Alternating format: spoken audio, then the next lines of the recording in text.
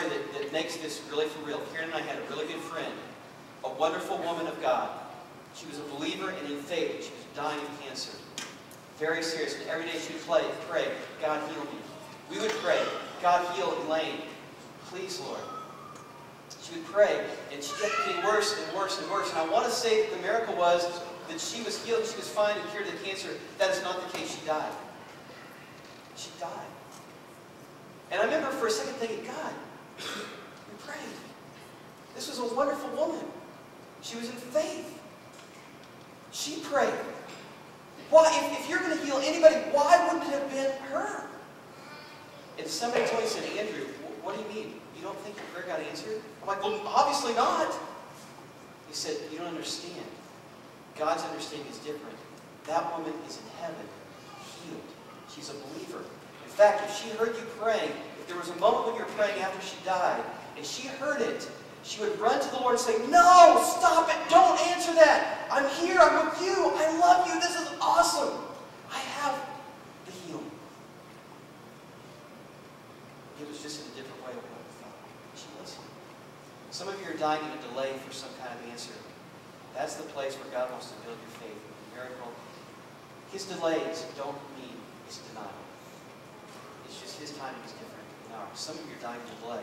The third and final character is Mary in the story. And in verse 20, um, we're actually going to kind of backtrack, is Jesus is arriving. It says, when Martha heard that Jesus was coming, she went out to meet him. But Mary stayed home. Okay, so Jesus is coming, Lazarus dead. Martha rushes out to greet him, but Mary stays home. See, Mary had some death, and her death was she was discouraged. Mary was dead in her discouragement. Oh, Jesus here. Whatever. I'm just going to stay home. Just hang out at home. So it's done. She was discouraged. How many of you ever been discouraged before? It just made you want to give up and want to quit. And just say, forget it. Just stay home. Don't even want to go anywhere. Um, back to the ski trip. We finally skied after getting there. And, and so and Brad and I find ourselves in the same pickup truck, following everybody else to the mountain to ski. About an hour away from where we stayed. And we get in this deep theological conversation um, on the way to, to ski. Now, this is my first time skiing, and I was a little scared. I was so thankful for the theological conversation it got my mind off, off of being afraid of skiing. But we finally pulled up in the parking lot of the mountain, and we ended our conversation, and I look out and see all these people coming to ski. And I look out, and I see people in the parking lot putting on helmets and goggles and astronaut uniforms. And I'm like, what the heck's going on here? And I look up the mountain, and I see this mountain 10,000 feet in the air, steep, these little, tiny, little courses going down the mountain, lined with thousands of trees. People killing trees on each side of these little courses. I'm thinking, you gotta be kidding me. I'm gonna go up there? And I look at Brad and I go, Brad, are you sure you don't want to stay in the truck and continue this theological conversation? And he's like, no, you got to put it into practice. You need to go up there and pray. and so, so we get out and we get in there, and, and you know, of course, some of the people in our uh, had already skied, some of them had not. I was one of the, the rookies. There were a few others, and so we all get held up together, and we go in. and They start giving us our equipment, and they, they call out your name for your boots, and I get my boots, you know, my astronaut boots, and my skis and my poles, and I go sit down, and and I'm just I'm shaking putting my boots on, and I put my boots on. And this is a bad sign right here, is I spraying my finger, putting my boot on. And I'm thinking, oh, this is bad. they haven't even put the skis on yet, I'm already injured. And so I'm getting nervous, and I get the skis on, and, and, uh, and, and, I'm out there kind of in the snow trying to, to kind of get ready, and, and Tim is out there, and, and, and Andy Adelman is out there, and Brad is out there, and, and Jay Johnson, and, and we have men from our church that are there around me. And I'm like, I cannot let them know that I'm afraid because they look like they're fine. and so I'm like, yeah, and, and they're like, to take classes there? No, just go for it. Just do it. And, um, you know, they're like, okay. So they're kind of helping me, telling me how to do the snowplow thing. And I'm like practicing the snowplow. You know, I'm standing there. And we go down there, hundreds of people around us. Hundreds. And we go down to get in line to get on the ski lift, and Tim's in front of me kind of telling me what to do. And I get to the line, fall down in line. And Tim's going, Pastor, do you need help? I'm thinking, oh, don't call me Pastor. You know? I mean, please don't say Pastor. I'm thinking this in my head. I mean, I'm shame the guy, you know?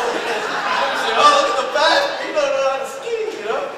And uh, I'm scared. And so I finally get up, and, and I'm like, oh, man. So I get on the ski lift. I'm sitting on there with Tim. I'm like, we're on the ski lift. We get off the ski lift. I fall off the ski lift and, you know, bite it, getting off the ski lift. And and then so I start following Tim down the mountain, and I'm like, okay, I'm doing this, I'm going good. And he goes, okay, now you got to turn. Start to turn, bam, you know. Me tell you what, I was on the snow several times during the day, and there was one point where I got a little bit discouraged, and I thought, you know what, I think I'm just going to go sit in the nice warm place and just drink Starbucks and watch everybody else. I mean, there was one moment where I almost thought that, because I was a little bit discouraged. But then I kind of got the hang of it, and then started thinking, it was really, really fun after that. But you know what, here's the deal. That's a funny story, but a lot of people's lives are exactly like that. Is they are so scared, they're discouraged. And they just want to go on, I don't even want to try. There are people that are, are discouraged in their sin. They've had some type of, of habit or habitual sin that has kept them off the mountain. And they're like, I'm never, I'm never going to win. I just give up. Could never heal me never make it right. So they're, they're so discouraged. Some people have given up on their God-given dreams. And they're discouraged. They're dying in discouragement. You know that God has great plans for you. And He's got things that are good for you. But you say, I just don't see it. There's a little bit of delay. I just give up. Just whatever. I'm just going to go sit up. I'm never going to get up. I'm never going to get off the porch and get there. They're discouraged. Some are dead in doubts. Some are dead in the delay, and some are dead in the discouragement. My question here is this, what in your life is, is dead? Relationships? Is it dreams? Is it faith? Is it passion? Maybe one time you were passionate after God, and for whatever reason that has cooled down and just begun to die. Well, here's the good news for you, because God wants to raise that from the dead, because He can. Now let's finish this out. John 11, verse 33. There's an amazing statement right here that's just really cool. It says, When Jesus saw Martha weeping, and the Jews who had come along with her also weeping, he was deeply moved in spirit and troubled. Where have you laid him? he asked. Come and see, Lord, they replied. And then we've got the shortest verse in the whole Bible, which you know very well. It says, Jesus wept. Why in the world did he weep? He knew he was going to raise the guy from the dead but yet he still cried. Why did he cry? He cried because he saw the pain. And it shows how much he cares for his people. And it shows how much he cares for you. Have you ever wondered what God is doing right now? What is Jesus doing right now? Where is he? We're celebrating him today. Where's he at? Well, he's in heaven.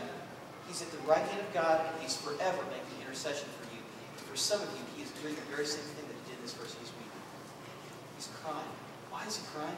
He's crying because he, he sees that there's some death. And he sees the pain that's there. But the good news is, is he wants more than anything to raise that up so that, you, that you can be alive again. Are you dead in doubts, in delay, discouragement? My, my, I talked about Christian, my, my other little boy, Luke, a couple years ago was very, very sick. In fact, he was so sick, he was dehydrated, we had to take him to the hospital We had to get an IV in his little hand. I'd never, I, at that point, I'd never had an IV before. And he's like three years old, he's having to get an IV and sit in a hospital bed. And I just sat there, and I just, I just wanted to weep over this little guy because of what he was having to endure. And I just kept thinking, man, if I could change places with him, I would do it like that in an instant. I would change with him, and I just wanted to hold that little guy until his tears went away. And I think that's a great picture of what God wants to do with each and every one of you. He wants to hold you until the tears go away. And he weeps and he wants what's dead to come back to life. In fact, he wants to change places with you so that he can take your pain and he can take your sin and take all the things that cause you to be dead and not alive and just take them on so that you can live. Oh, gosh, wait a minute. By the way, he did that.